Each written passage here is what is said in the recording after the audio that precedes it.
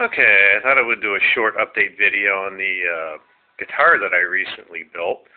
Uh, I sold my other American Stratocaster because I didn't really like the neck, uh, and I, I really wanted uh, a Stevie Ray Vaughan looking Stratocaster. And as you can see, what I did is I ordered this uh, 2010 uh, Sunburst body uh, off of eBay, and it's it was a really nice body, a nice spotless body, and it was nice and smooth, had a perfect finish. It came with the only thing it came with is a jack and the strap buttons. Uh, I was lucky enough to have uh, a bridge, a whole bridge and a block setup. Uh, that was a, this is American spacing. It's kind of weird. It's American spacing, and it's a Mexican neck. So I was really concerned if the strings were going to line up or not, but they did. They lined up excellently. Uh, I ordered some Tex-Mex pickups and I put it in there. Uh, I ordered some 2010 Fender CTS pots, and I custom aged my knobs by soaking them in coffee.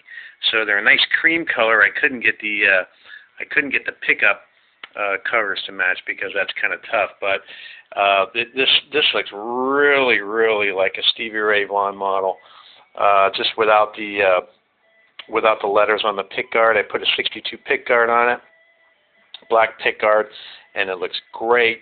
Uh, I got an awesome neck off of eBay. Uh, the neck is straight and square, and as you can see, it is a real, it's a it's a real Fender 62 reissue neck.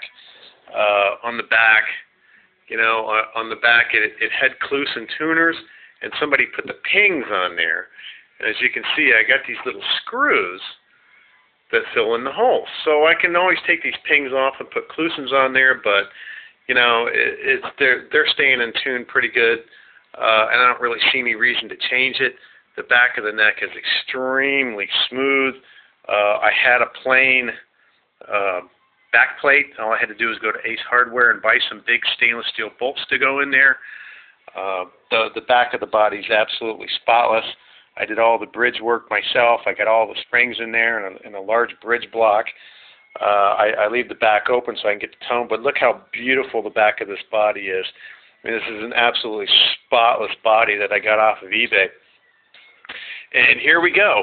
Uh, I, I think I built a pretty good representative Stevie Ray Vaughan Stratocaster model. I built it all myself and wired it up all myself. The total for this guitar with all the parts and everything. Everything is Fender in this guitar. Uh, nothing except for except for the bridge, and I can change that. Is uh, is Fender parts? Everything is Fender parts except for the bridge. The total I spent on this guitar was 600 bucks.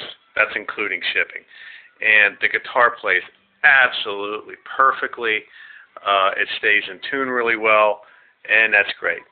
Uh, so I just had to show the world my new Stevie Ray Vaughan model Stratocaster. Thanks.